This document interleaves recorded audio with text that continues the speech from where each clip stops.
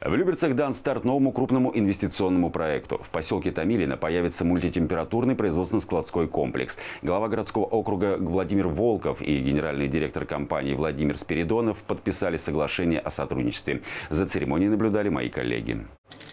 Благодаря строительству нового производственно-складского комплекса в Люберцах появится 1100 рабочих мест. На предприятии общей площадью 62 тысячи квадратных метров разместится 4 цеха по переработке продукции. Это мясопереработка, э, обвалка мясной продукции, э, рыбный цех по переработке рыбной продукции и дальнейшей реализация, переработка замороженных э, овощей и фруктов дальнейшей реализации. Строительство объекта начнется в начале следующего года. Его открытие запланировано на ноябрь 2023 -го. Для округа это станет знаковым событием. Это очень серьезный, знаковый инфраструктурный объект, тем более 400-летие. Следующий год у нас юбилейный, городу исполняется 400 лет, поэтому этот объект войдет как такой а, бриллиант в ожерелье тех объектов, которые будут реализованы. Владимир Волков поручил своим профильным заместителям оказать содействие новым инвесторам. Как и все предприятия, работающие на территории округа, они могут рассчитывать на различные меры финансовой поддержки.